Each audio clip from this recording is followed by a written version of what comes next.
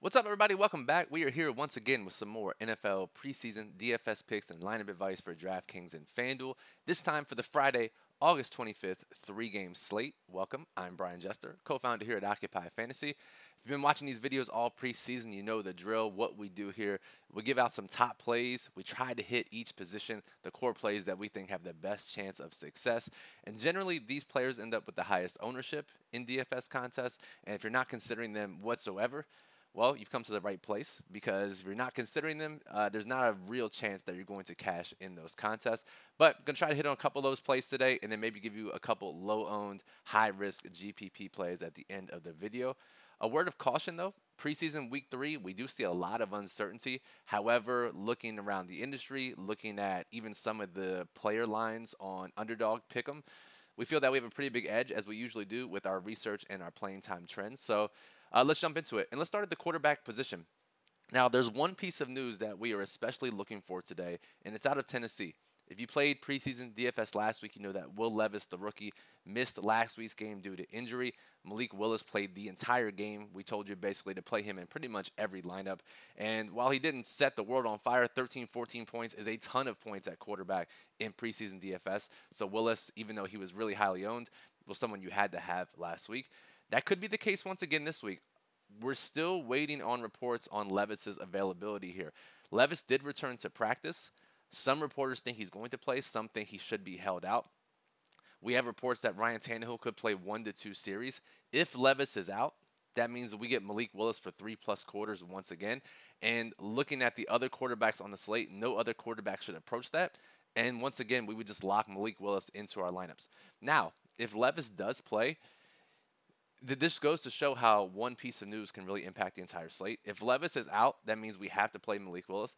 If Levis is in, that means that the quarterback position really doesn't matter for your lineups tonight. And I know that sounds crazy to say, especially if you if you played regular season DFS, but we have multiple multiple quarterbacks that are going to play a half tonight probably. For Detroit, we likely have Nate Sudfeld playing a half. For Carolina, we likely have Matt Corral playing a half. For New England, we likely have Bailey Zappe playing a half. We could have Malik Cunningham play a half. It sounds like Mac Jones will not play tonight, just reading between the lines uh, in what the reporters are saying out of New England.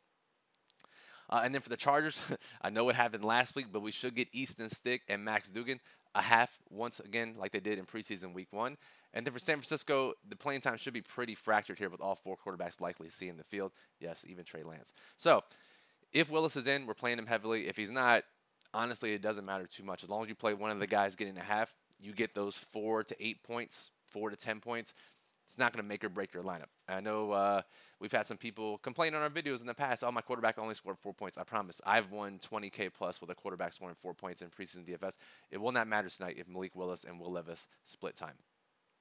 Moving on to running back. Uh, if you remember last week as well, we gave out Julius Chestnut as a top play. Uh, for some reason, the field wasn't on him. They didn't recognize that Tennessee would be shorthanded in their backfield. That's going to be the case once again tonight. Derrick Henry is going to rest. Hassan Haskins, Jonathan Ward both did not practice once again this week after not practicing last week and missing last week's game. That leaves just Tyjae Spears, Julius Chestnut, and Jock Patrick in the backfield.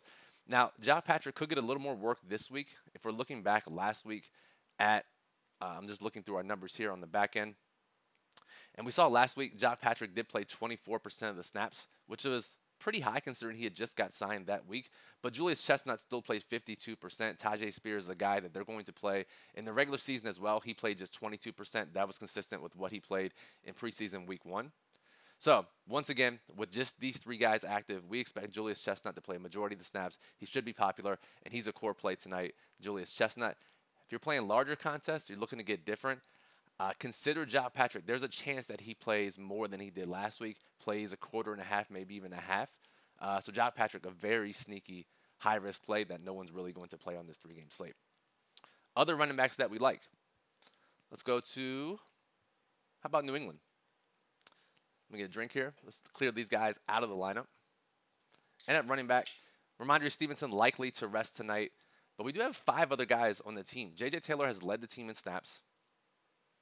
Typically, New England, whoever leads in snaps preseason week one and preseason week two, leads again in preseason week three, which leads us to believe that J.J. Taylor will be the guy. He's talented. uh, high yards per touch, leads the, team in yards per touch this preseason.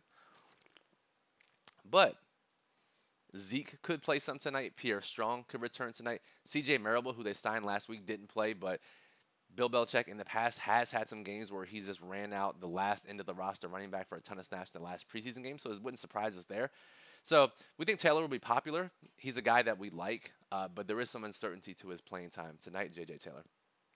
Uh, let's leave the guys who we like in our lineup tonight, just so you guys can keep a reminder of who we have as the top plays. Uh, again, I'm recording this at 11 a.m. Eastern on Friday, uh, and this is a, assuredly going to change as we get news throughout the afternoon, but this is the early look for tonight's slate. Uh, one other running back that we like, who do we got here? We're going to say Craig Reynolds for Detroit. Played basically a half last week. Uh, didn't play in preseason week one. They're going to be missing Jermar Jefferson. Let's go to Detroit running backs. Jefferson is likely to miss this week's game after missing practice on uh, Tuesday and Wednesday. Mo Ibrahim was released. So just Benny Snell, Devine Ozigbo behind Craig Reynolds, assuming Gibbs and Montgomery sit, which we expect to do. Uh, and Reynolds battling for that number three running back spot on this team should get a lot of work. A lot of the coaches said this should mirror last week's game, and uh, which means Craig Reynolds should play a decent amount tonight. If you're looking for a pivot, it is Devine Ozigbo, it is Benny Snell in that same backfield. Moving on to receiver. There are some groups that are going to play a lot tonight. We'll start with New England. Uh, if we assume that the starters do sit or play very sparingly, then we're going to be looking at Kayshon Boutte, who had the long touchdown last week. Tre Nixon, who has been uh, a guy that we've played a lot in preseason. In fact, we played him a lot last week. Injured his shoulder very early in the game, only played 18% of the snaps. He's been cut. So that just leaves Boutte, Riley Webb, uh, Pitts, who's been getting a lot of run in practice this week, as the guys who are likely going to play a ton in this game tonight. Really, those three. Let's just put them in the lineup so we have them. Boutte, Webb, and Tyrick Pitts. All three of these guys should see action, so should see ownership tonight. Uh, we side with Boutte and then Pitts and then Riley Webb as the as the third option from this group. The Chargers are going to have a lot of guys play tonight. Typically, they play the same guys that they do in preseason week two in preseason week three. Those guys are Keelan Doss, those guys are John Hightower. Let's get him in the lineup. And Terrell Bynum. These are the guys that are going to play a lot tonight for the Chargers. Next, we have the Carolina receivers who've been playing a lot. Shi Smith, Javon Wims. Derek Wright is the sneaky option. He's the guy, I know I said wait till the end of the video, but let's just give it to you now. This is my sub 10% play that's going to play a lot that no one's going to play because he missed last week. He's got the Q tag here on DraftKings. We know that if they don't play last week, if they have an injury tag, their ownership is automatically suppressed in preseason DFS. Derek Wright's a guy we like a lot. They said he's battling for a roster spot, and after missing last week, should play a ton tonight. So Derek Wright's our favorite tournament receiver on the slate, period. Uh, but especially from this Carolina group of Smith, Wims, and uh, one more guy who's been playing a decent amount. Laviska Shenault is out. Terrace Marshall's out. DJ Chark is out. Lots of guys missing uh, from this group. Let's get uh, let's get LA out of here. Yes, Damiere Byrd also out. So missing a lot of guys this week. Very thin receiver group, and Derek Wright's a guy we expect to go way overlooked by the field tonight. Uh, finally, let's talk about the tight end position. Let's just get these guys in here that we like. Uh, New England, we'll put in we'll put in Boutte, And then Chargers will put in Keelan Doss. Okay. Tight end. Sticking with this same group, typically for the Chargers, whoever's led in week two has led in week three the past couple of years under Brandon Staley. That is Stone Smartt. He also leads that group in targets for the Chargers. Stone Smartt, one of the safer plays. No real standout tight end plays tonight. If you've played every slate so far this preseason, you know that there have been a couple slates where we said, honestly, if your guy gets one or two catches, you're probably okay at tight end. That is one of those slates tonight. No one really stands out. We like Stone Smartt the best. But honestly, if you play any of the guys that have been playing and they get two catches, 12 yards, you can probably win. So if you remember, there have been some slates. Quarterback doesn't matter. Tight end doesn't matter. That's tonight's slate, unless Malik Willis is the only quarterback who's going to play after Ryan Tannehill. We'll have to monitor that news. So these are the top plays for tonight. Lots of pivots, lots of high risk plays, lots of low owned guys. Remember last night, Atlanta's running backs, they played a half each.